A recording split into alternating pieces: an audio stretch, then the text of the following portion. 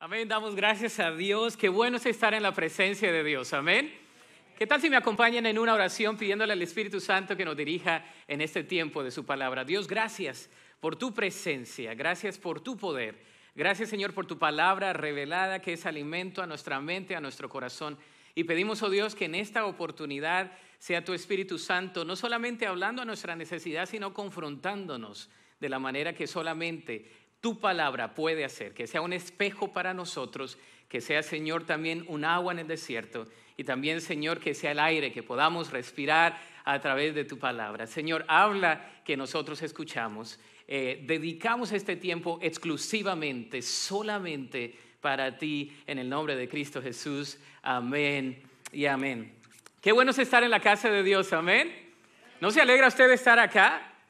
Sabe que yo durante la semana estoy expectante, estoy orando, le estoy pidiendo al Señor que nos ayude a prepararnos, que su Espíritu Santo sea preparando nuestra mente y nuestro corazón para lo que Él tiene eh, eh, cada fin de semana. Y estamos en esta serie de sermones que le hemos llamado paradoja, viviendo opuestamente en el reino de Dios.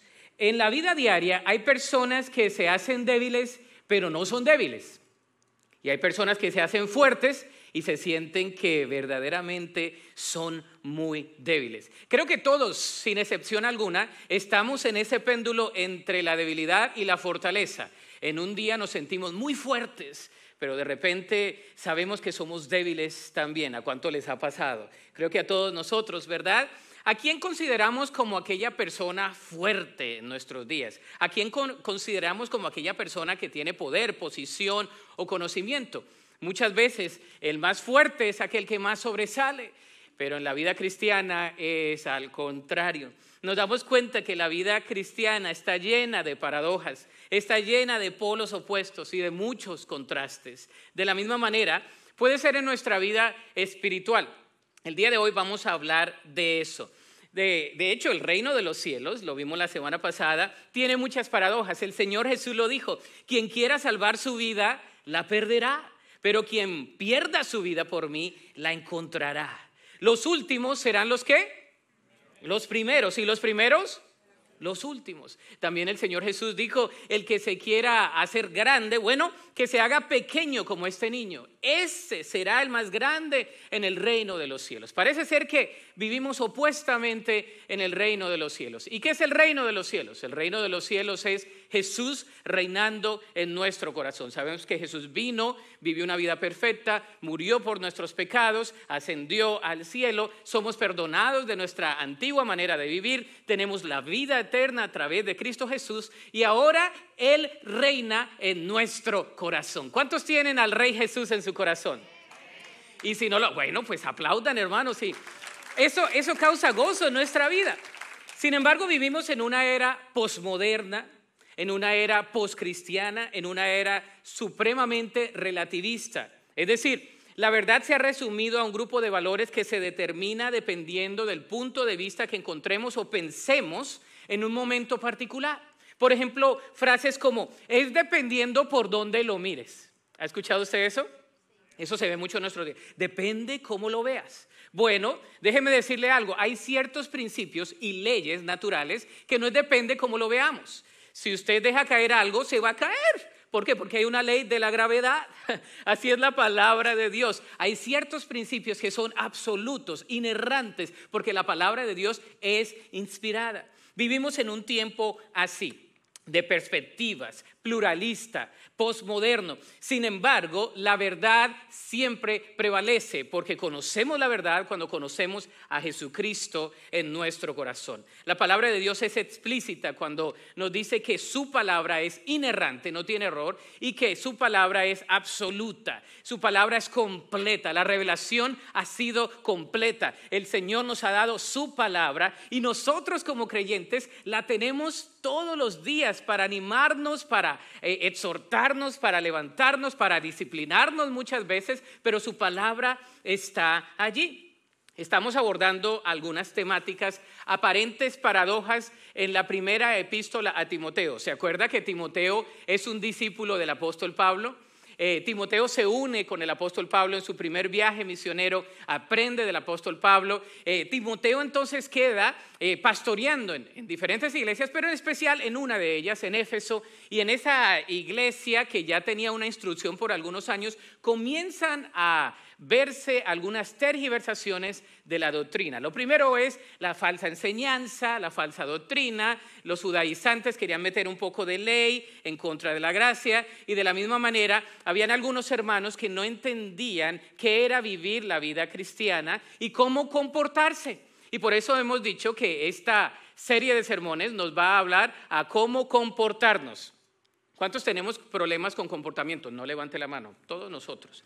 ¿Verdad? Con ser obedientes, conseguir lo que la palabra de Dios nos dice. Sin embargo, hoy vemos un contraste, hoy vemos otra paradoja, la debilidad en una era de poder, la debilidad en una era de poder.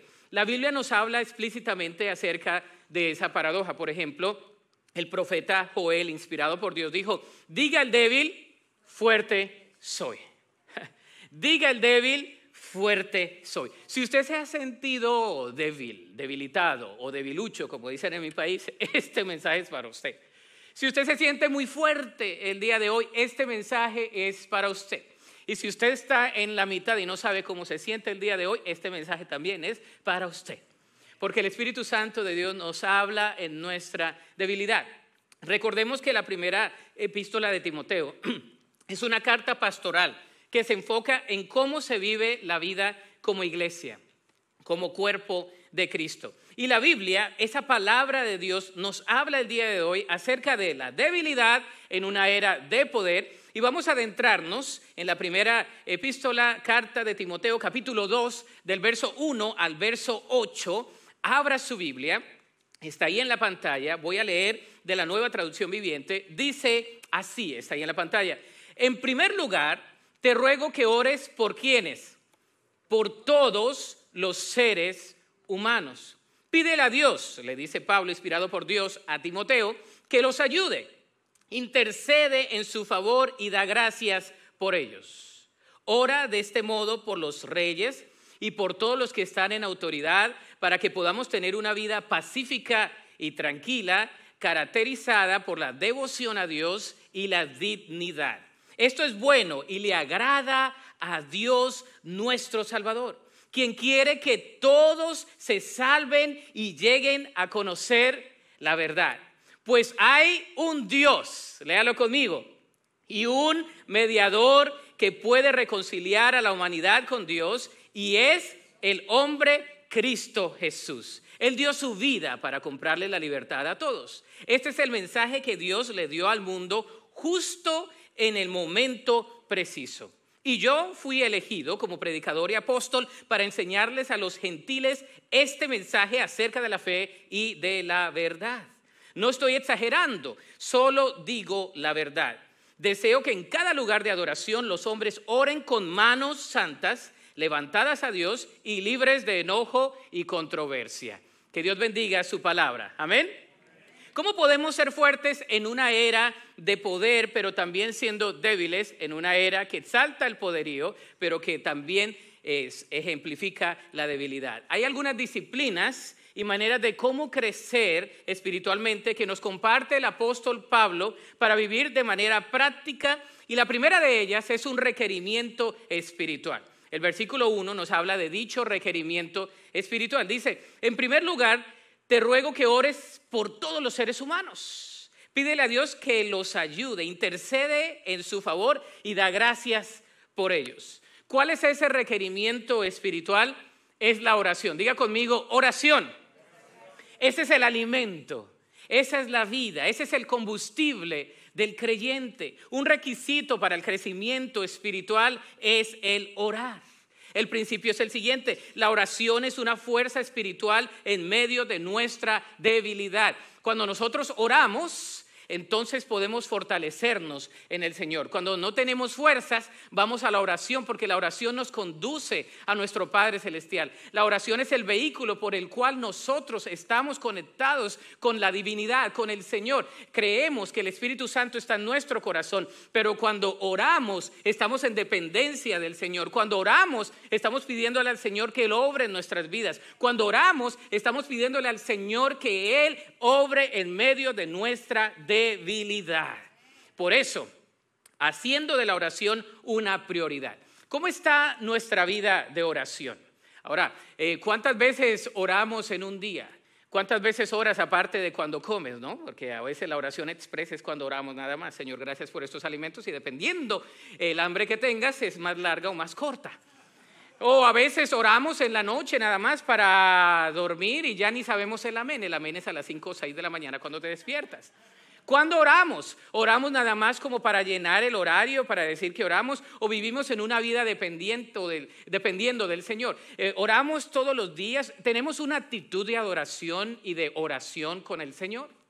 Porque orar no es solamente hablar con Dios. Algunos han reducido la oración como orar es hablar con Dios. Orar es comunicarnos con Dios. Eh, yo le hablo, pero Él también me habla. Amén. A través de su palabra. orar es el conducto espiritual que Dios usa para habilitarnos, para darnos a nosotros esa vida espiritual. La palabra aquí dice, te exhorto.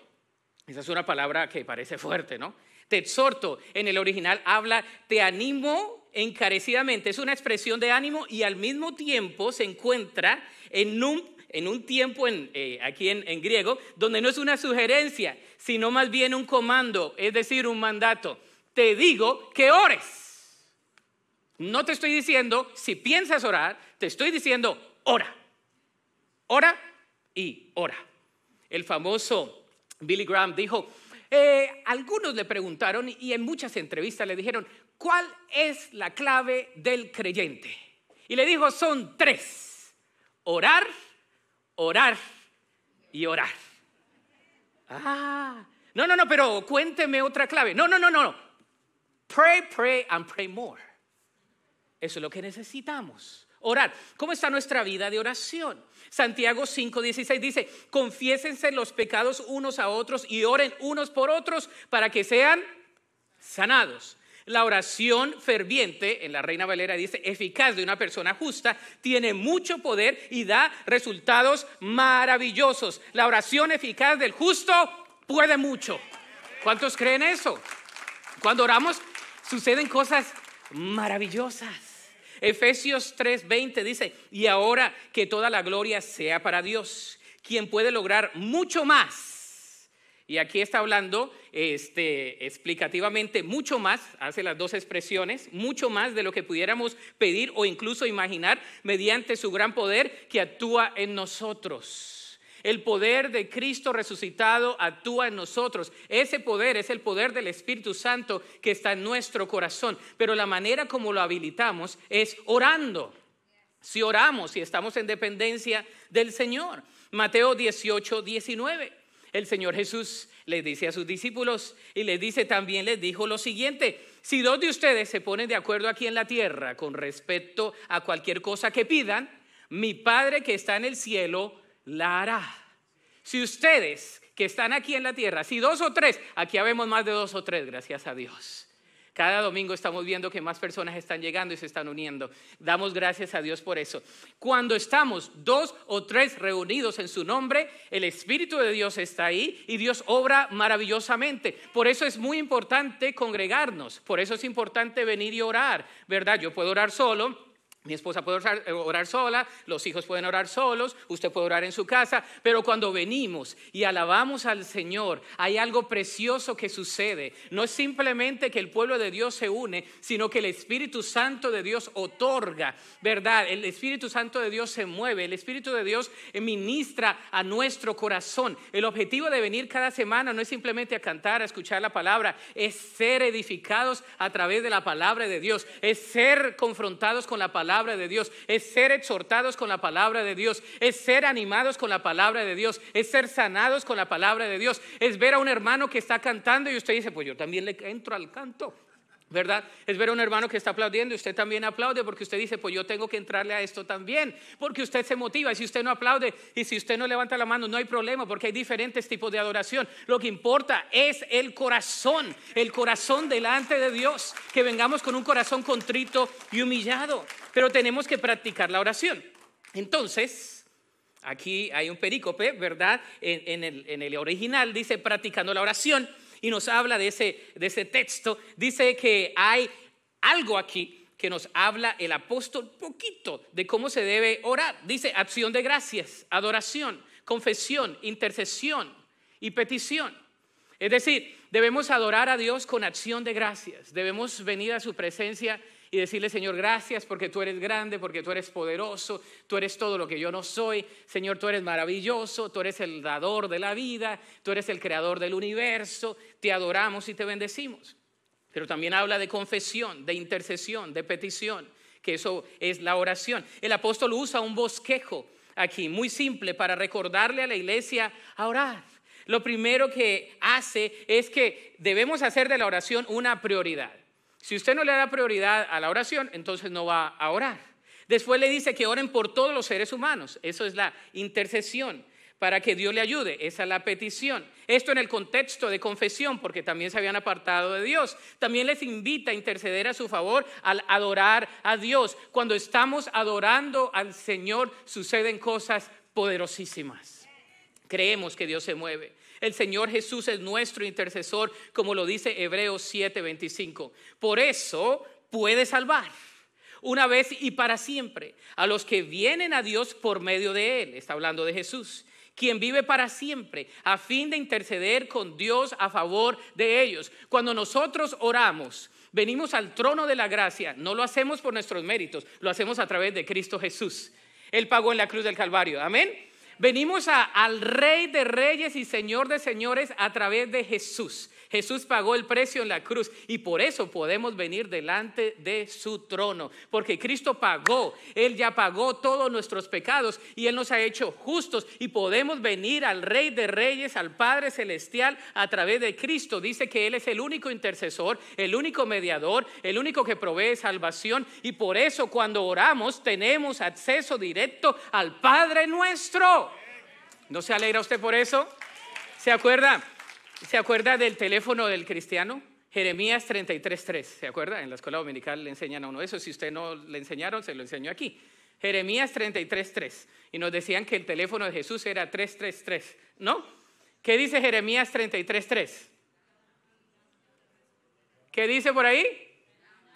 Clama a mí y yo te responderé y te enseñaré cosas grandes y ocultas que tú no conoces. Clama a mí, es como cuando estamos tocando a la puerta o estamos llamando, ¿verdad? Jeremías 33:3 dice, clama a mí y yo responderé y te enseñaré, te mostraré. La palabra ahí habla de una perspectiva. Cosas que nunca habías pensado ni, ni, imaginado son las que yo tengo preparadas para ti, porque mis planes son buenos. Clama a mí y yo te los voy a mostrar. Pero ¿cómo te los voy a mostrar si nunca clamas a mí?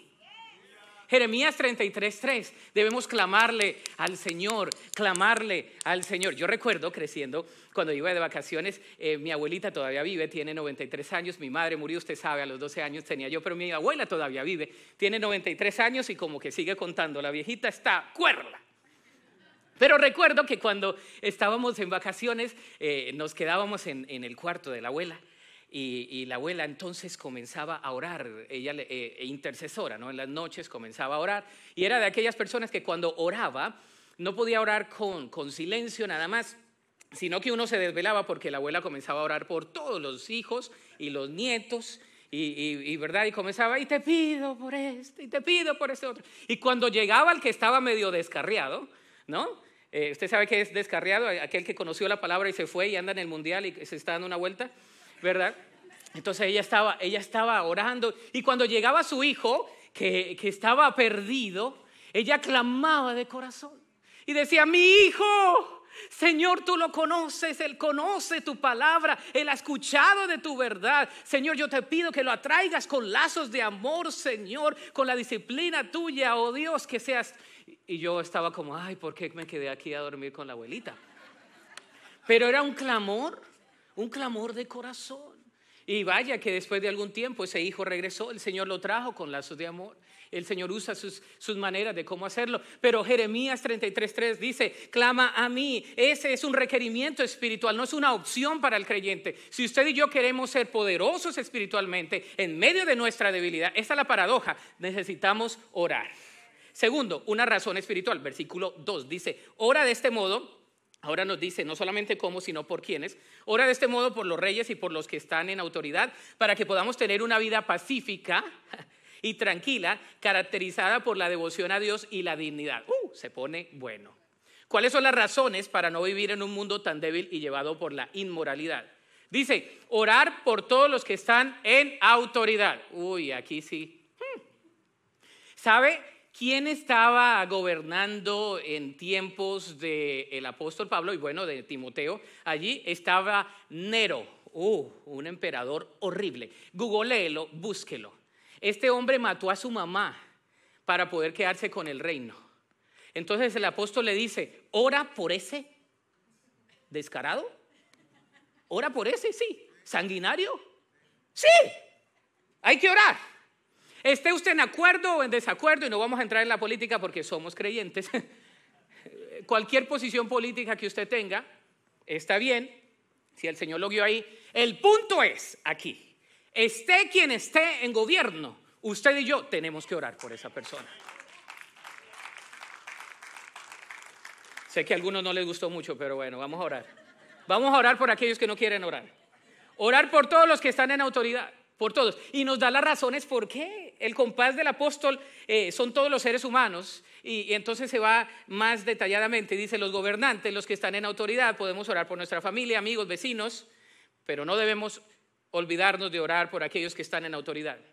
Acuérdese, Nero estaba a cargo en Roma, el hombre malo que ejecutó a sus hermanos, a su propia mamá para quedar en el trono. Él torturó a los cristianos quemando sus cuerpos, usando la luz de esos cristianos en sus fiestas.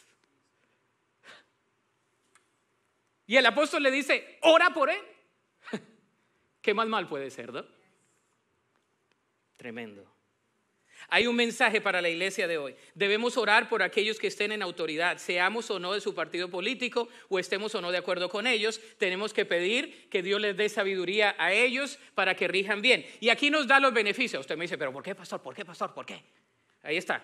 Beneficios para vivir pacíficamente, con devoción a Dios y con dignidad.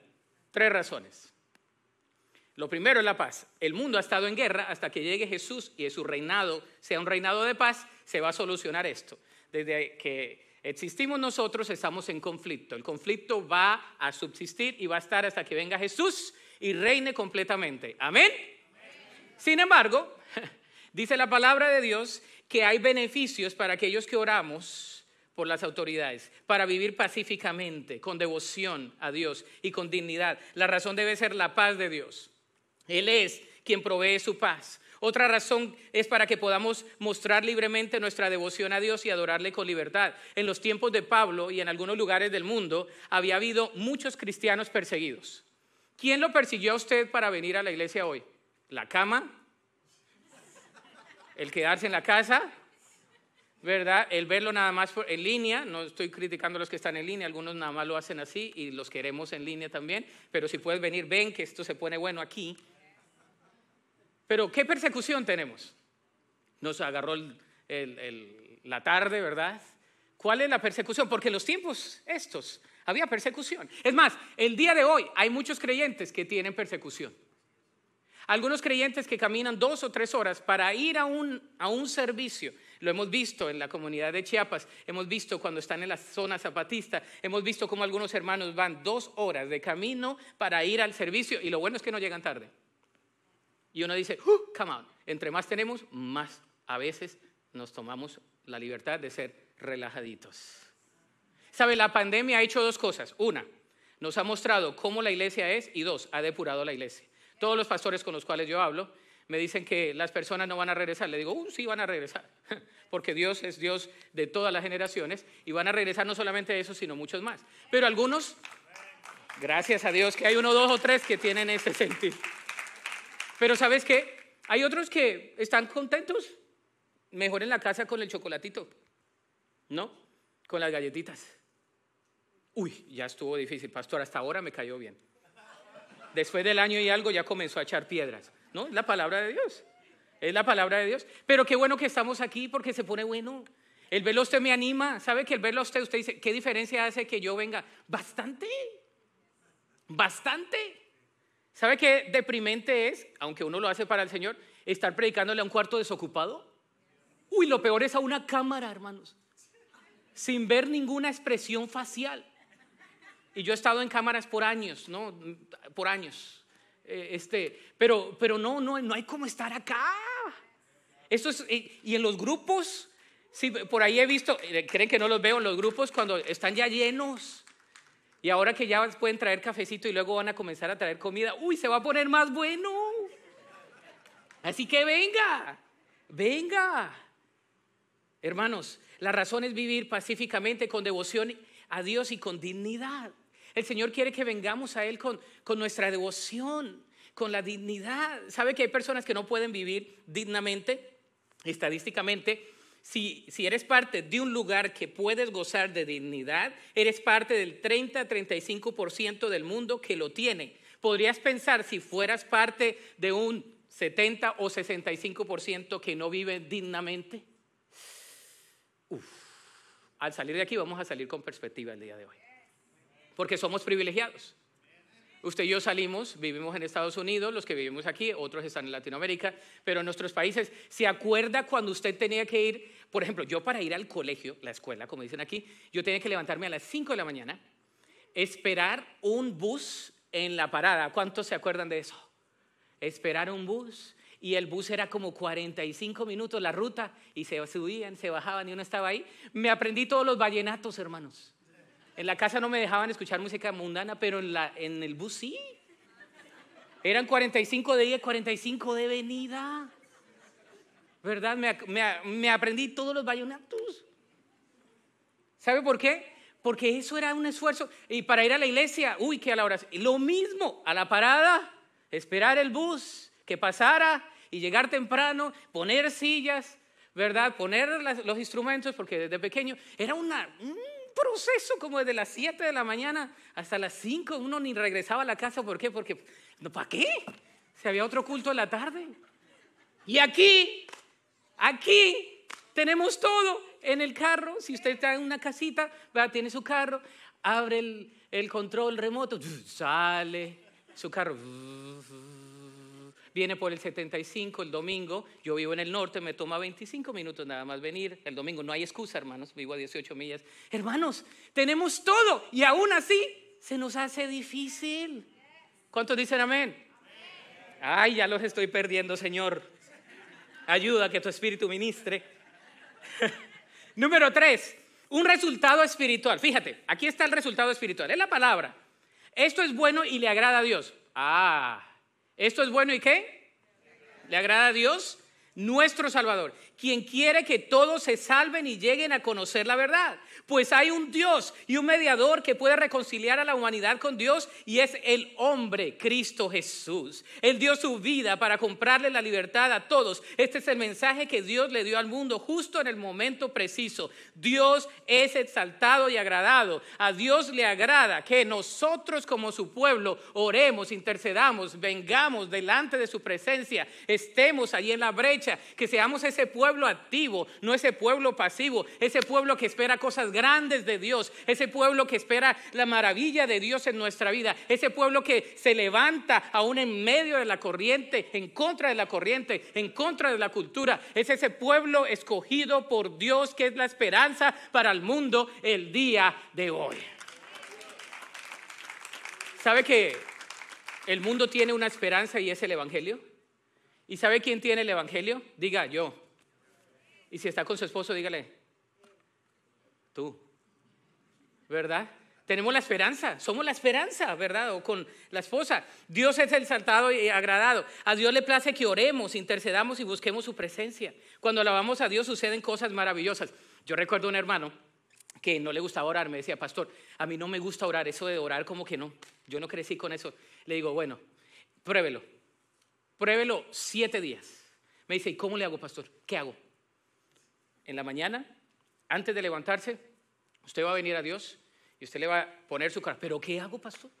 Bueno, usted dígale, Señor, gracias por este día, gracias porque tú eres bueno, gracias, Señor, porque me diste una buena noche de descanso, gracias porque el día de hoy va a ser un excelente día, Señor. Te, pido en este momento que me perdones de cualquier cosa que tenga.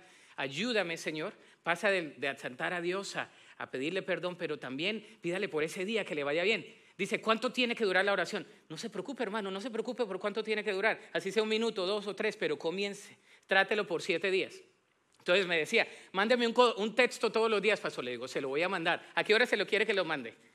Bueno, mándemelo como a las siete y media de la mañana. Se lo mando a las siete y media de la mañana. Ahí estoy. Ahí estaba yo como, como gotita, siete y media. Hermano, ¿cómo le fue con la oración? El primer día me dice, me quedé dormido, pastor. Pero el Señor perdona. Ok, tratemos mañana. El otro día me dice, ya lo hice, pastor. Fueron dos minutos. Le dije, mañana vas por tres.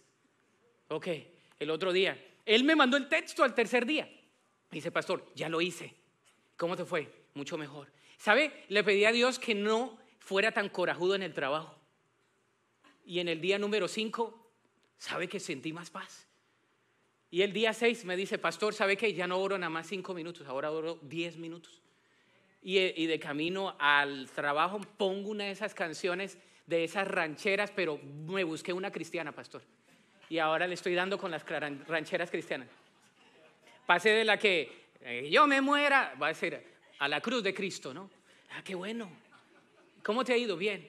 Sabes, el otro domingo vino y me dijo, pastor, ¿sabe? Lo probé por siete días. Eso funciona. Eso de la oración funciona. ¿Y cómo has orado? Nada más no sé qué hago, pero ahí estoy, me presento.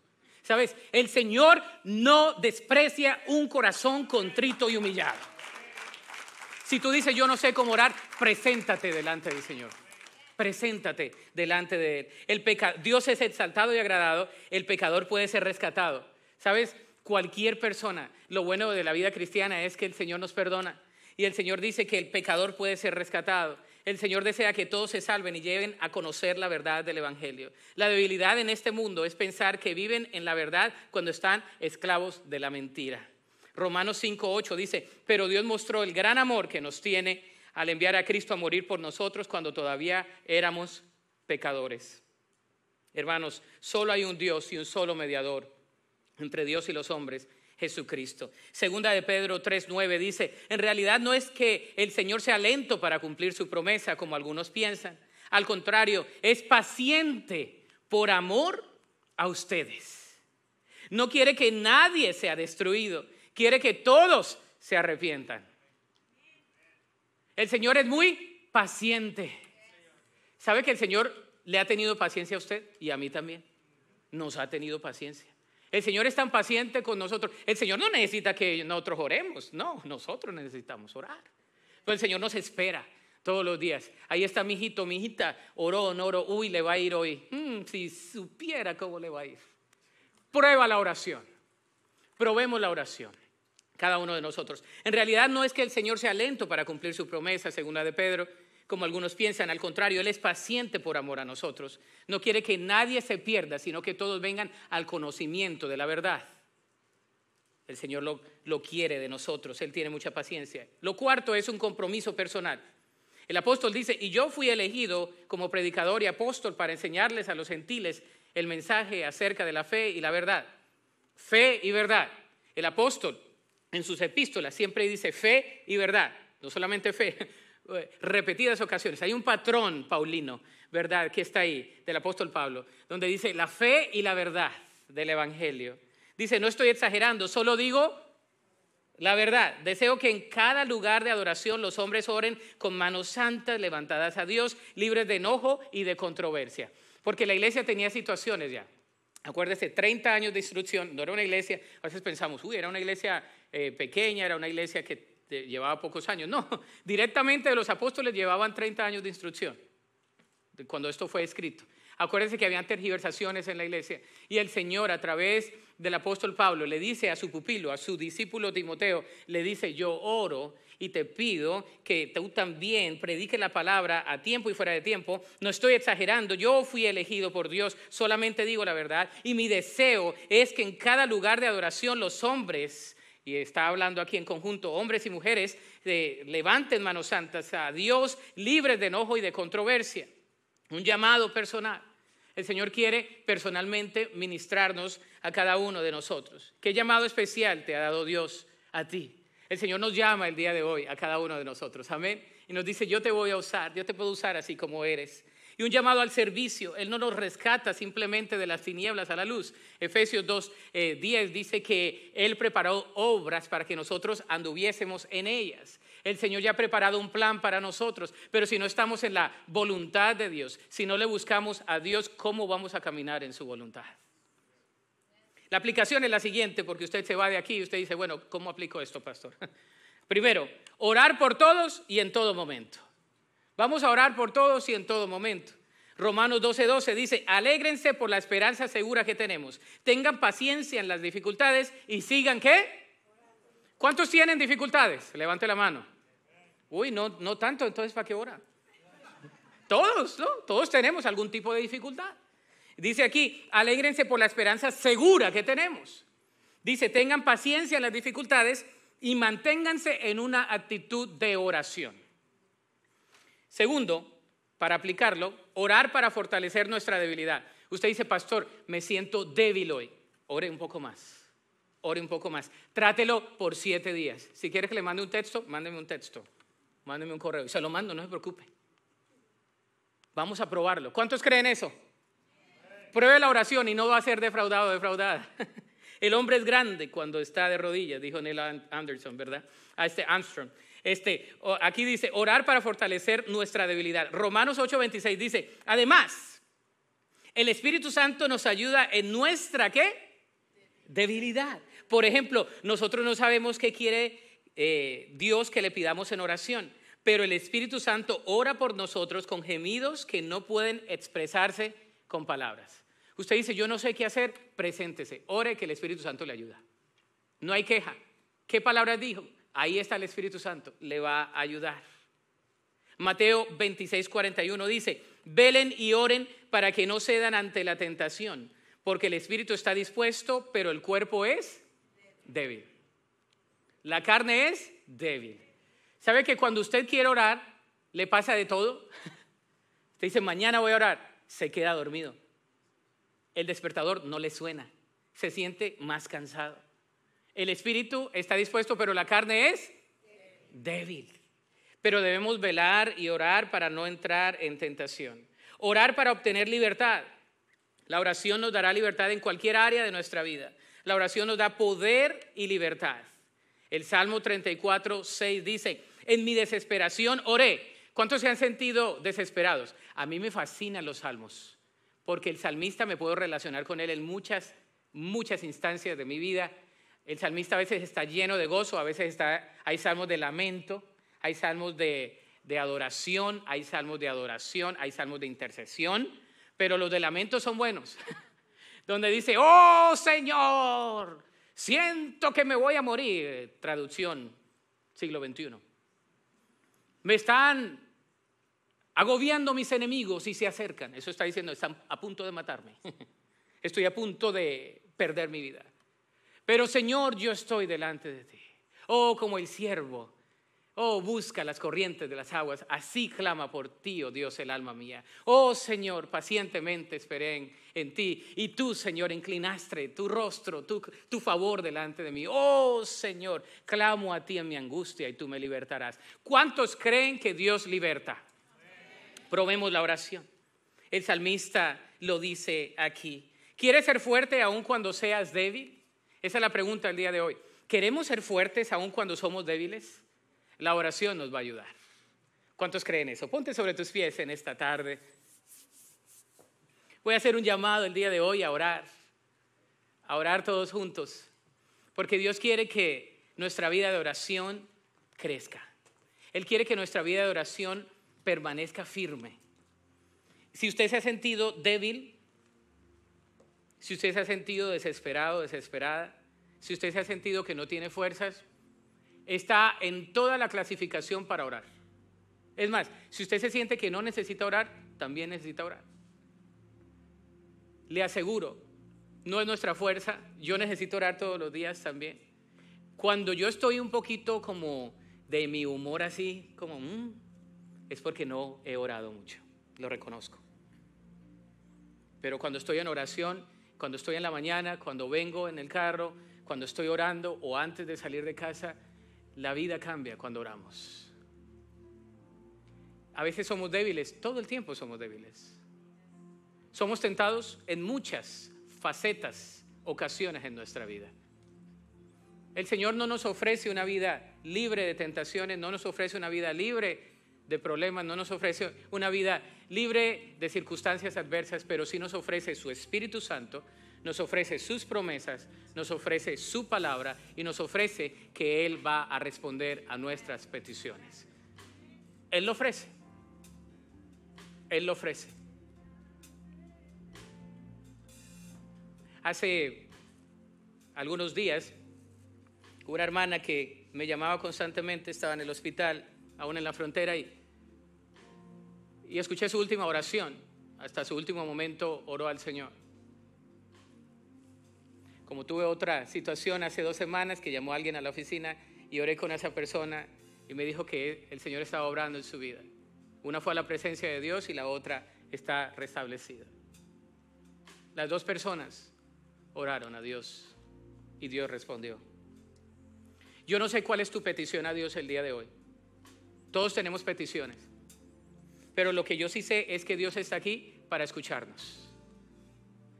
Él está aquí para consolarnos, para animarnos, para levantarnos. Él está aquí. ¿Quieres ver algo diferente en tu vida? Prueba la oración. Oremos más. ¿Qué tal si mientras cantamos este cántico de oración de ven al altar, tú puedes venir al altar aquí, al frente, o puedes estar ahí donde estás? Pero vamos a orarle al Señor. Vamos a depositar nuestras cargas delante de Él. Vamos a decirle, Señora, aún en mi debilidad, yo quiero que tú obres. Te pido, Señor, que obres en mi vida. Ven a Jesús, Él está aquí. Ven a Jesús.